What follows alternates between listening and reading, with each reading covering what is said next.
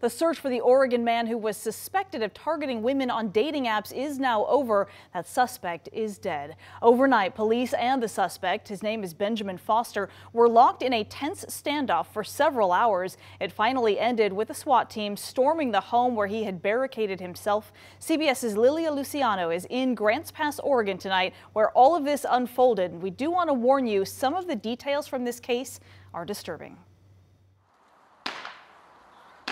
The intensive search for Benjamin Foster strangely ended where it began, at a home where police say he bound and tortured his victim, nearly killing her. Our cameras were there during the standoff.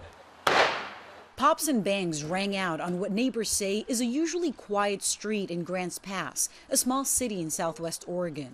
Come out with your hands up. They approached behind large shields, assembling in a line, then moved in. After the standoff, Foster was brought to the hospital where police say he died from a self inflicted gunshot wound.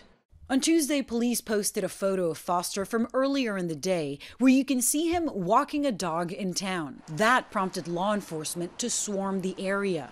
Last week, police got close to catching the 36 year old some 20 miles away, but he escaped. There, they did charge a 68 year old woman accused of helping him get away and warned the public that he was still active on dating apps, perhaps to find an accomplice or another victim as this was not the first time he was accused of a crime. In 2017, a partner accused him of trying to strangle her. And in 2019, Foster was charged with assaulting his then girlfriend in her home in Las Vegas, tying her up for two weeks, severely beating her before she could escape. Foster faced decades behind bars, but took a plea deal and was released from prison the same day he arrived because of time already served in jail.